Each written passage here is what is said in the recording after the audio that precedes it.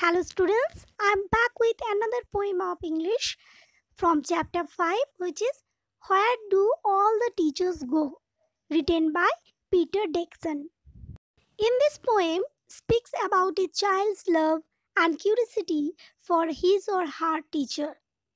Teachers are just next to super beings for children. They can't imagine that teachers are also ordinary human beings. For young kids, a teacher is an extraordinary special person. It is difficult for a small child to accept that a teacher is also any common man or woman living around him. The child wonders and questions if teachers also behave like other people, if they also do all the work or things. Like, do they live in houses? Do they wear pajamas, wash socks, or watch TV? Do they also have parents and children to live with? All these questions bother a child's mind, and out of curiosity, one day the child decides to follow his teachers, to keep a check, and to write a poem about them, so that the teachers read that poem to their students. It shows the cuteness, purity, curiosity a young mind has for his teachers. It also that their expectations from teachers.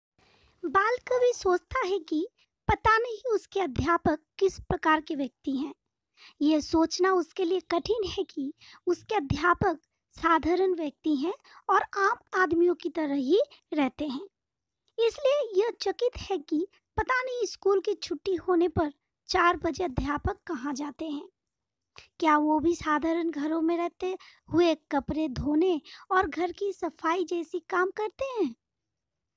बाल कभी जानना चाहता है कि क्या उसके अध्यापक भी सामान्य बच्चों की तरह पैदा हुए थे? और क्या वो भी बचपन में बुरे कहे जाते थे, जैसे कि बच्चों को अक्सर कहा जाता है? यह चकित होकर सोचता है कि क्या वो भी स्पेलिंग की गलती करते थे और सजा पाते थे? अध्यापक बहुत ही त्रुटिहीन दिखते हैं। बाल कभी सोचता है कि शायद ना तो उन्होंने कभी अपनी पुस्तकें खोई होंगी, जैसे कि वो खो देता है, और ना कभी उन्होंने अन्य कुछ बच्चों की तरह गंदे कपड़े पहने होंगे। उसका इरादा है कि किसी दिन अपने घर जाते हुए वो किसी अध्यापक का पीछा करे और सच्चाई का पता लगाए। फिर वो अपने अनुभव को एक कविता में लिखेगा। जिसे उसके अध्यापक अपनी कक्षाओं में दूसरे बच्चों को पढ़कर सुना सकेंगे।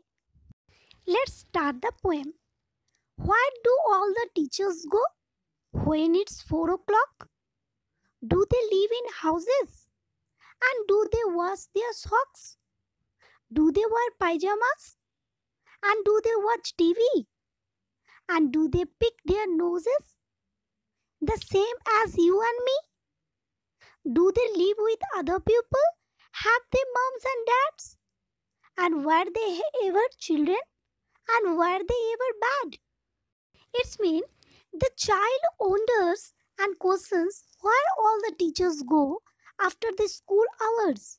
When it is 4 o'clock, he wants to know if, like any other ordinary being, they also live in houses and wash their socks means do they also do all the routine work like other people?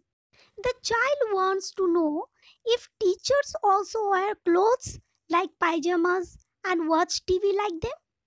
Do they also clean their noses the way other people do and waste their time and the child wonders by asking if they are also surrounded by people, if they also have parents and children like us to live with.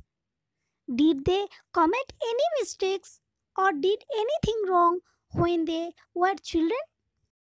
Did they ever never spell right? Did they ever make mistakes?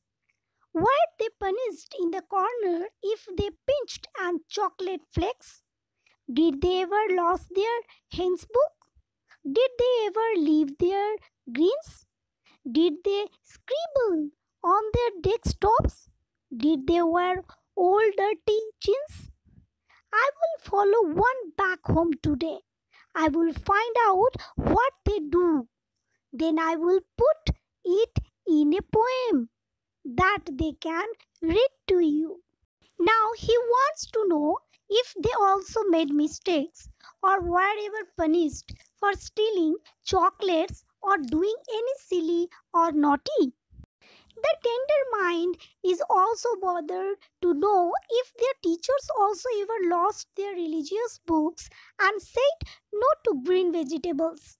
Did they also waste time by scribbling on tables and wear old jeans?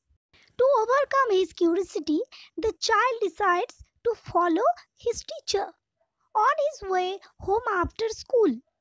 Once he is clear about everything, he would also like to compose or write a poem about it and thinks that the teacher would read the poem to his students. So, this is the poem. Thank you for listening. I will see you in my next video. Thank you.